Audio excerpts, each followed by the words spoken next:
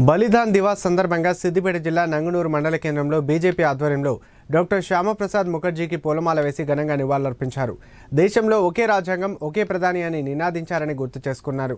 ఈ సందర్భంగా బీజేపీ నాయకులు తుపాకుల నరేష్ మాట్లాడుతూ ఒకే దేశంలో రెండు రాజ్యాంగాలు ఇద్దరు ప్రధానులు రెండు జాతీయ పథకాలు ఉండడాన్ని సహించలేమని నినదించారని గుర్తు చేశారు.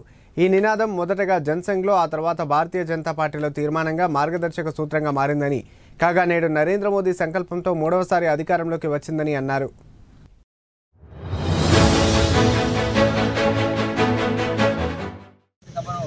నాటిన మొక్క ఈరోజు భారతీయ జనసంఘగా మొదలై భారతీయ జనతా పార్టీగా అఖండ విజయంతో మూడు సార్లుగా వరుసగా మూడు సార్లు ప్రభుత్వాన్ని ఏర్పాటు చేసింది.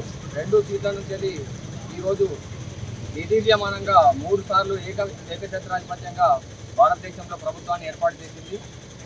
ఆయన ఒక దేశంలో ఒకే రాజ్యాంగం ఒకే ప్రధాని ఉండాలనే ఆయన నినాదం ఈరోజు నిల నియమైంది. కాశ్మీర్ను కూడా సైతం భారతదేశంలో ఒకే ప్రతిపత్తి కింద పనిచేయాలనే నరేంద్ర మోడీ గారి సంకల్పంతో ఆయన కళ ఈ రోజుతో నెరవేరింది. దాన్ని పురస్కరించుకొని ఈరోజు నందూరు భారతీయ జనతా పార్టీ మండల శాఖ ఆధ్వర్యంలో వర్ధంతి నిర్వహించుకోవడం జరిగింది.